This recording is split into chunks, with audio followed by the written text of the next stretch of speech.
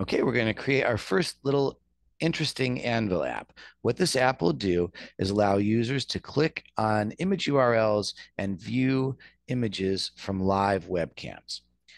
Open your IDE, click blank app. We'll select material design as our template. And we'll give this app a new name. We'll call it webcam images. We'll go back to our form one, and from the toolbox, we'll select a drop-down widget, drag that onto the form one. We'll select an image widget, drag that onto form one. And I'm going to switch over to the tutorial at pythonanvil.com. And you'll see here a list of URLs. Each of these URLs draws an image from a different live webcam. We'll go back into our Anvil IDE, select the drop down widget, scroll down on the right side to the properties panel, and find the items property. Right there, I'm going to paste in this list of image URLs. If we run the app now, you're going to see that we have a drop down widget that allows the user to select from any of those list of URLs. To make that drop down list do something useful, we're going to go to the change event and we're going to write a method that does something whenever the user changes the selection of the drop down. Let's open up the code view a little bit bigger. And you can erase the default code there in the method. And what we what we want this to do is we want the image at the URL that's been selected to be displayed in the image widget. So the way we do that is we type self to refer to the current form and you can see a list of objects that are on the current form. We want to select image one, which is the default name for that image. And we want to change the source of that to be the image that is at the URL. The way that we get that image is by using Anvil's built-in function called URL media. And uh, that will take the image that's at a URL and make it usable, for example, in an image widget.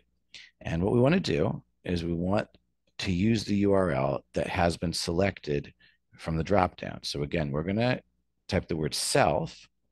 And when we press the dot, that's going to give us a list of all of the objects on the form. We're going to select dropdown one, press dot again, and now you'll see the the first option, most likely option um, for a property that's going to be used in dropdown one is selected value. So what this does is it refers to the selected value, the currently selected value in the dropdown one widget. And we're passing that value to the Anvil URL media function. And we're going to set that image to be the source of the image one widget. So now when we run this, select on an image and Anvil converts the image that URL to an image that can be used in Anvil. And with that line of code we've written, it shows that image in the image widget.